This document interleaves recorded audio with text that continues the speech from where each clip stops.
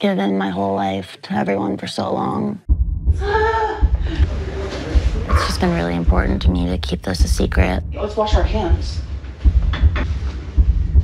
This is the first time that something is just mine. I'm gonna be a mom. Literally no one knows. My own family doesn't know. Ever since I've been Mike, all I've done is say the most terrible things. That's tough. People found out there would be paparazzi all over Cedars. I got you a surprise.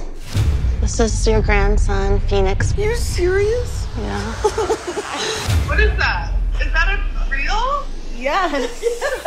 We had it so tough. You're so beautiful, so perfect. My life is finally complete. I'm so obsessed. Oh,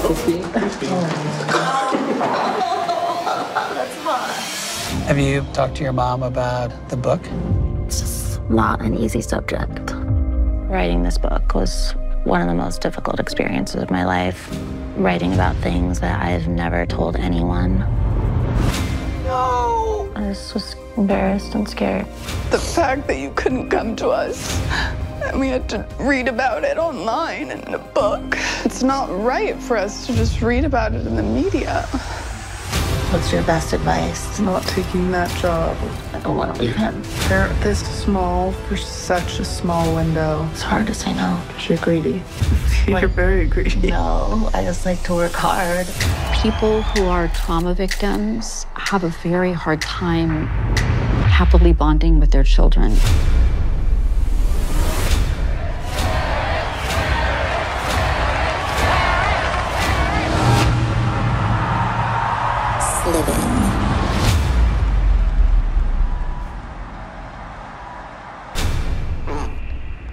Because you just part of me.